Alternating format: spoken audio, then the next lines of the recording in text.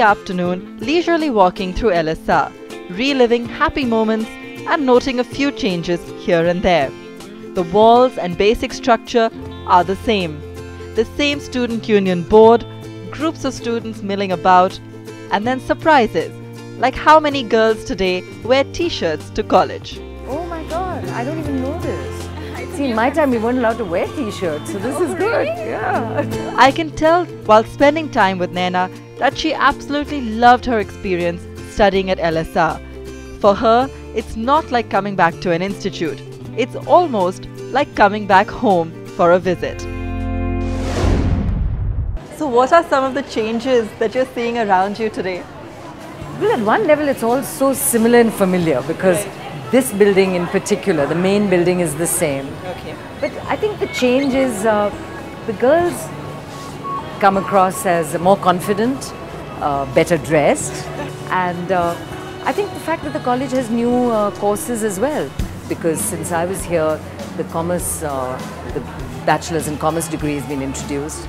There's a new course which really uh, caters more to the NGO and uh, journalist community.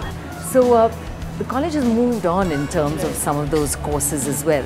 You also went to um, Harvard after LSR. Yeah. And uh, you've had a lot of different experiences when it comes to education, as you were telling me about first school in uh, Simla and then, of course, here in Delhi. So, when you went to Harvard, what was that like for you? Was it a bit of a culture shock? Was it uh, exciting?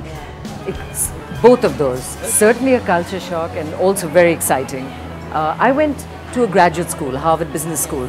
So not straight from college here. It's from after here I worked with Price Waterhouse as an article clerk, doing my chartered accountancy, Okay. ticking ledgers, and uh, then going to Harvard Business School at the age of 23 was a very, very different experience. Uh, the thrill of belonging to one of the best universities in the world, uh, a highly competitive one, one which at the time was actually coming up for criticism for being too competitive Oh, really? because there were suicides and people who were not being able to cope with that uh, whole pressure. And, and you think that only happens here in, you know, well, obviously it, not. It certainly happened there. And they were looking at decompressing hmm. somewhat, but had not quite started that process. So it was somewhat intimidating in terms of reputation. So the relief I had was when I got there to find, hey, there isn't an issue. Yeah. I understand the language of business because I've done economics and my accounting degree. I have no issue with the fact that it's English Yeah. because I'm very comfortable with that. There were a number of international students, particularly the Japanese, who really s- struggled with the fact that education was in English. So when you begin to look at, hey, well, there's no reason for me to feel threatened. Business school was actually a great, fun experience. But the good thing is, I think our education system here prepares us so well for that. And I For see that even today.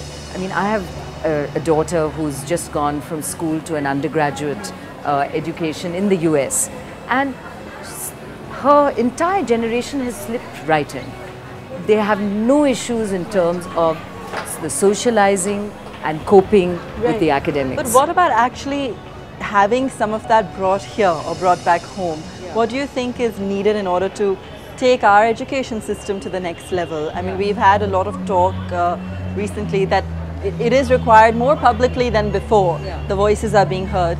Um, you know, there is that constant debate of whether or not we should open up um, our system to private education coming in, allow the Harvards of the world to come here, Yeah. or, or whether it's just improving our own infrastructure. What, Yeah. what do you think is required? Well, I think if we can stem the tide of kids going abroad, uh, and a lot of it is happening not just because they want to go, uh, some will always want to go, but also as you read in the papers, uh, there are kids who've got into Ivy League colleges there and have not been able to secure admission to Delhi University. If that is indeed the case, then we need to improve the number of colleges we have here and the ability of our students who would like to stay here to be here because the price that they are paying offshore is huge. Yes. So anything between the price which you would pay at a college like LSR, which despite being a leading college in the country charges nothing, right. to what you would pay uh, $50,000 a year in a US college, there's a huge differential which we should be able to offer an education alternative here which uh, at a standard which people are prepared to therefore stay here. Naina, if you were to think back um, at you know something that you took away with you from your years of grooming at colleges back home, um, what would be an example of something that held you in good stead? Early education, Right. school, most certainly, because I think that helps to build confidence in oneself. College, because it builds on that confidence, and for those that are late starters, maybe provides that confidence as well. And that confidence comes from being able to hold your own in academics, yes, but also in terms of the extracurricular activities you do. So, give me an example of it, of an experience that you know really influenced you. Yeah. If, if you if you remember of you know a, maybe a particular debate or a particular moment which I which think uh, many, many. I mean, in the debates, sometimes you come on on top and sometimes you don't. I remember that first debate of mine was a disaster. I was fi- finding myself tongue-tied. I was really stretched, finding the arguments. It just made me make sure I worked harder the next time. I researched my subject better. I had the points better. I rehearsed and just got more comfortable with the fact that I would have a lot more competition. And I think it is these opportunities which are huge, the opportunities that stretch you again and again, that shake you out of your comfort zone. So I think some of the biggest turning points have been the failures, the things that did not work out. And you go back thinking, oh my God, this is just horrible.